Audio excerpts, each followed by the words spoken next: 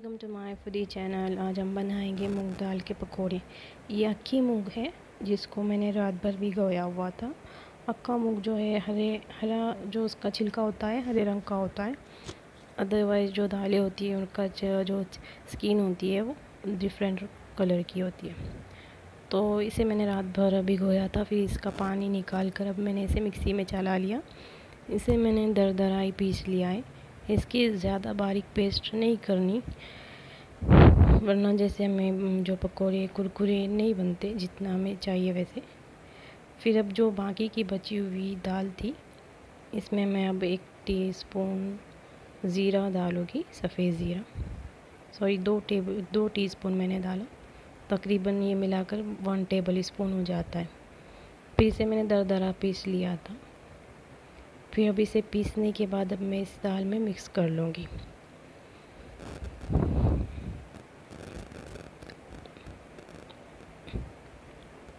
इसे मैंने अपने हाथों से ही निकाल लिया।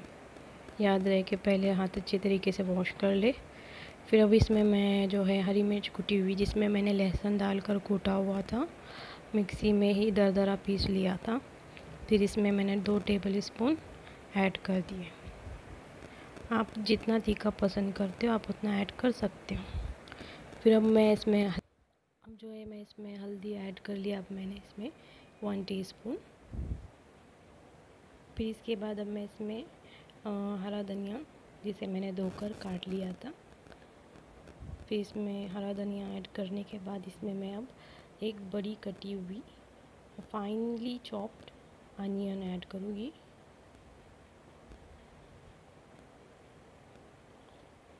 आप देख सकते हो, मैंने इसमें अनियन चॉप किया हुआ ऐड कर दिया।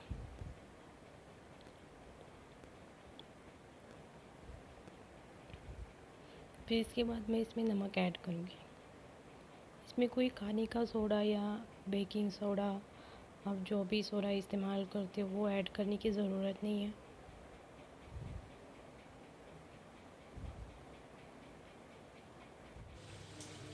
फिर इसमें मैंने थोड़ा सा गरम मसाला ऐड कर दिया। तकरीबन ये हाफ़ टी स्पून होगा। फिर मैं ना ही मैंने इसमें कोई बेसन ऐड किया बाइंडिंग के लिए ना ही कुछ क्योंकि मूंग दाल में काफ़ी उसकी जो कंसिस्टेंसी होती है बाइंडिंग के लिए काफ़ी होती है। इसमें कोई चने का आटा या वगैरह ऐड करने की ज़रूरत नहीं होती। तो अभी मैं इसे फ्राई कर लूँगी अच्छे तरीके से। जब ये गोल्डन ब्राउन हो जाएगी तो फिर मैं इसे निकाल कर सर्व कर लूँगी। अब देख सकते हो मैं इसे फ्राई करने लगी हूँ। पहले तेल अच्छी तरीके से गर्म कर लिया करें, जो भी चीज़ें आप फ्राई करने लगो। अगर जितना, अगर ठंडा तेल हुआ तो फिर वो चीज़ें जो है तेल तेल को हमेशा कोई भी चीज़ फ्राई करने से पहले ही इसे अच्छी तरीके से गर्म कर लिया कीजिएगा। अगर तेल अच्छे तरीके से गर्म ना हुआ हुआ तो जो हम चीज़ें फ्राई करने के लिए डालते हैं, वो चीज़ें काफ़ी तेल अब्ज़ॉर्ब कर लेती है या फिर टूटने लगती है। तो इसके लिए तेल अच्छी तरीके से गर्म होना ज़रूरी है। इतना भी ओवर हीटेड ऑयल गर्म ना हो के हम चीज़ें डालते ही वो जल जाए। तो इसी तरीके से मैंने सारे अपने जो पकोड़े थे वो निकाल लिए और अब देख देख सकते हो ये कितने कुरकुरे बने हुए। आप ज़रूर एक बार ट्राई कीजिएगा। और मेरे चैनल को लाइक शेयर सब्सक्राइब ज़रूर कीजिएगा।